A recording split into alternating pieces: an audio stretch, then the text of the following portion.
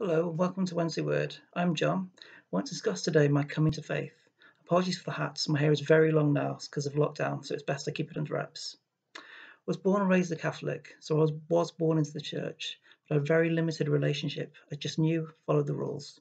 I prayed for key moments in life, usually for exams. It was very ad hoc. I studied maths at uni, and I found that by accident, really, for myself, the, the models of planetary orbits, the predator prey models, and other models we found when it's to do with life, we found it to be, I found it to be so fragile and beautiful. It just had to be a god. So it was lovely to see it in the maths personally. About four and a half years ago, I attended the APC. Almost immediately, a family member became ill, and the church reached out, reached out, even visited her in hospital, which was hugely warming. It wasn't long before we challenged into the marriage course, beneficial again. Communication it was definitely the thing that I found the best. Shortly after that, we further ingrained into the church with the prayer group. The group I'm in at the moment, fantastic. Luckily, they all have a solid understanding of the Bible, apart from myself. And I was amazed how little I actually remembered from the Bible because I actually went to Catholic school. So it's a bit embarrassing. But the with the increased frequency and focus of the prayer, which we're now doing, and engaging questions in class. It's just been fantastic.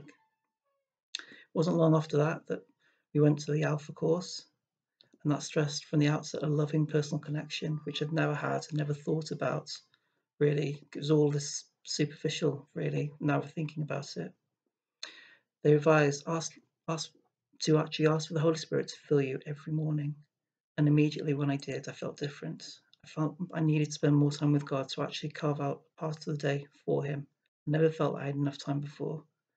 And by doing that, and with the, one of the weeks it was about reading and understanding the Bible, I've read four of the Gospels, and John was my favourite. I just love the optimism the way it finishes, and the way the relationships where they where they talk in the passages. It just reads very well for a book. I loved it reading it back to back in just a few sittings, it helped ingrain the message and how, how Jesus' life was instead of just isolated parts.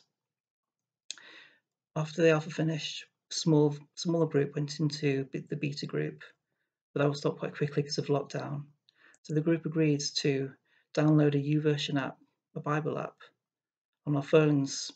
We signed up for a course called How to Pray, and we added our own prayers and cheered each other on. It was great we carried on with that and been following that most days because they have they actually put new material on every day.